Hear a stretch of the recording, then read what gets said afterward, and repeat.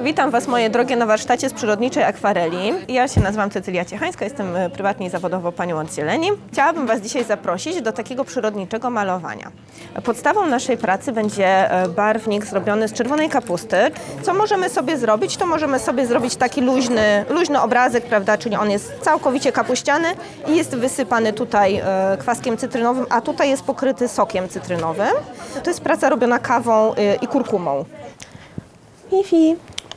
No, dzień dobry. Mogę się zmieścić na fotelu z tobą? Ewentualnie. Urodziłam się w Nowej Hucie i wychowałam się w starej części Nowej Huty na Willowym. Teraz mieszkam na Mistrzejowicach.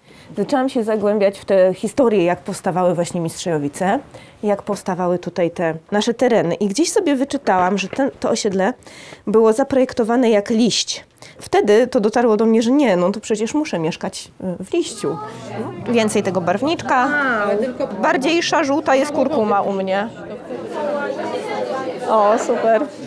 Do mnie na warsztaty przychodzą ludzie, którzy chcą. Którzy chcą na przykład dowiedzieć się, jak wyhodować sobie na parapecie e, jakieś tam, czy na balkonie jakieś tam jedzenie. Czy mogą korzystać z, z dziko rosnącego e, jedzenia.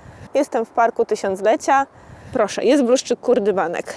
To jest zamiennik albo nawet lepszy superfood z wszelkich pietruszek, szczypiorków. Do kanapek rewelacyjna roślinka. No, nawet jeszcze pachnie. Tu jest przycięta lipa, widać orzeszki lipowe na górze wiszą. Zbieramy kwiaty lipowe na przeziębienie i bardzo dobrze, jak kwiaty lipowe przekwitną, to ten owoc to jest właśnie orzeszek lipowy. Można by go było zrobić z niego napar. Ja pewnie zrobię z niego farbę. A, zrobię ci herbatkę z lasu. Zrobię ci z y, sosnowych igiełek herbatkę. Ale żeby nie było tym sosnowym igiełką za smutno, to zaraz im dorzucimy towarzystwo. Kiedyś wydawało mi się, że żeby być ogrodnikiem potrzebujesz terenu, potrzebujesz e, klasycznych grządek, upraw i wyników. A teraz e, wiem, że tak nie jest. Jest e, w moim pojęciu tak, że możesz być ogrodnikiem, ogrodniczką konceptualnym, możesz się realizować na balkonie czy na parapecie, możesz się realizować w ogrodnictwie miejskim. Czwarte są jałowce, jest blusz, piąte pelargonie, szóste pelargonie, siódme nagietki jakieś, ładne aksamitki się do mnie uśmiechają. Praktycznie każde pięterko, obok jakiś koleus, tutaj lawenda z balkonu się pojawia. Praktycznie każdy balkon ma jakieś kwiaty. Ja jestem ogrodniczką z wykształcenia projektantką ogrodów. I ja jestem cały czas w ogrodnictwie, jestem cały czas w przyrodzie, bo od dziecka grzebałam w ziemi. No i teraz tu, Fifi. Tak, ślicznie, brawo. Ogrodnictwo jest moim życiem i moim hobby i z tego wynika kolejny mój projekt, mój pomysł, czyli właśnie to malowanie ogrodnicze, malowanie barwnikami roślinnymi. Przy farbach roślinnych wszystko ma wpływ na tą barwę. To, z czego ona będzie wyekstrahowana, jak ona została obrobiona. E, robimy taki wywar z liści czerwonej kapusty. Będziemy mieć jakiś odcień czerwono-fioletowej farby. I o, proszę, taki mamy wyjściowo dzisiaj barwnik. Jak go wysuszę, no to mam ten barwnik w formie takich kryształków. Petrichol i geosmina to są zapachy ziemi i dla mnie na przykład taki zapach świeżej ziemi, czy ziemi właśnie po deszczu jest taki no wspaniały, bo to jest pewna przyszłość, pewna nadzieja. O, pachnie trochę jak nadzieja. O, i mamy taką tęczową myszkę. To jest piękne. Bardzo dużo czytam. Nie mogę spać, czytam. Mogę spać, ale czytam. Non-stop coś czytam. I napisałam książkę swoją o, właśnie o ogrodnictwie. Dla każdego taki poradnik od laika do ogrodnika.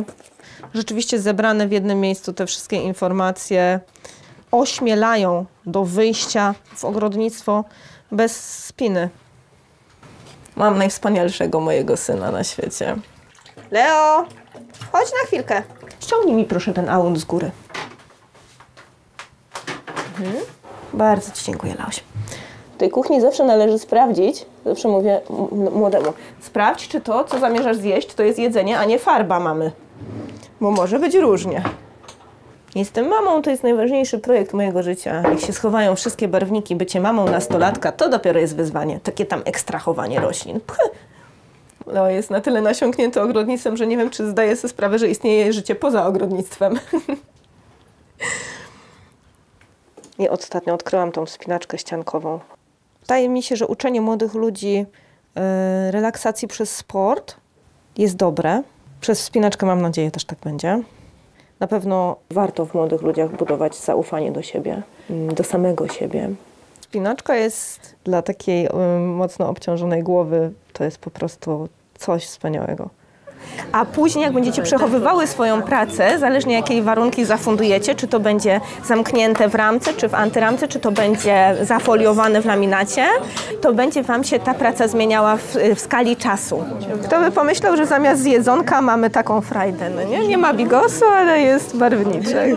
Dla mnie jest fajne, inspirujące to, że na przykład po warsztacie mamy warsztat na przykład z herbaty i ludzie wpisują się do kroniki i i właśnie w chwilach zwątpienia można sobie do takiej kroniki zajrzeć. No, czasem człowiek już jest tak styrany, że się zastanawia, po co ja to wszystko robię, po co siedzę kolejny raz nad e, edycją, po co siedzę nad tym tekstem, prowadzę warsztat. I czasem już jestem tak styrana, że się też zastanawiam właśnie, po co ja to robię. Otwieram sobie kronikę i czytam. Przypomniałem sobie, jak wspaniałym procesem jest celebrowanie życia, jest picie herbaty. Choćby proste słowa i już człowiek wie, że, że było super, że było fajnie, rozwijająco. Bajer to jest, powiem Ci Cycylka, no, no hit po prostu, jak to się odbawia, naprawdę.